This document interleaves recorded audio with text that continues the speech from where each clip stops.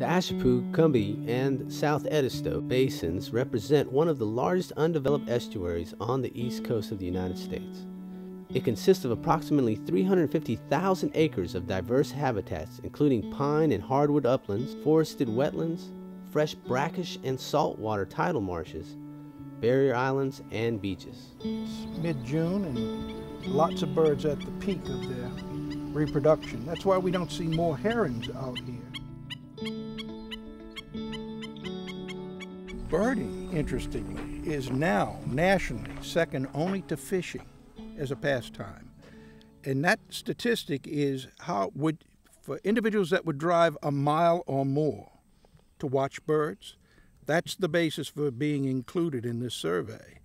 And it's second only to fishing as a national pastime.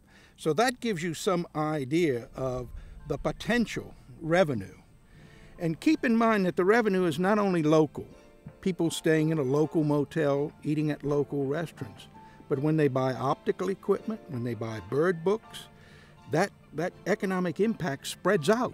It has a much greater geographical range, so to speak. So, in protecting natural areas, that's what we mean about the investment in the future. And it's a renewable investment because each and every year these people come back to enjoy these natural areas. A major goal of the protection efforts is to ensure that traditional uses such as farming, forestry, recreational and commercial fishing and hunting will continue in the area.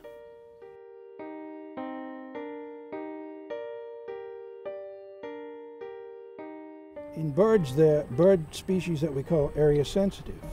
They require large parcels of land to be successful in their nesting.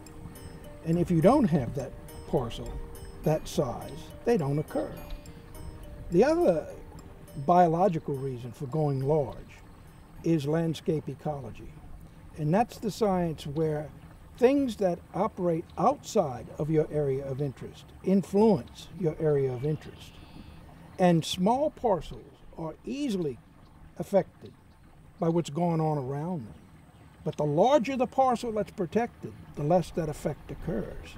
So there are two solid biological reasons right there why South Carolina had to move from protecting someone's backyard because it had a rare flower to hundreds of acres, thousands of acres, because it contains lots of different elements that need to be protected.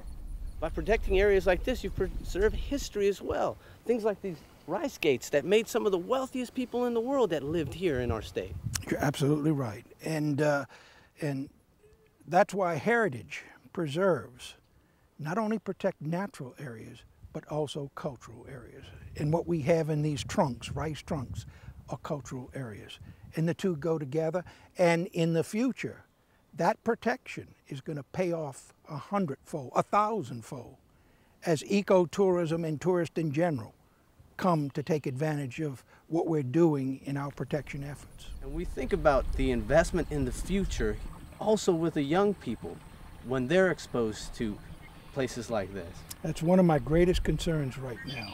If we're not engaging the younger generation in our conservation and protection ethics, we might lose all of this investment we made in protection.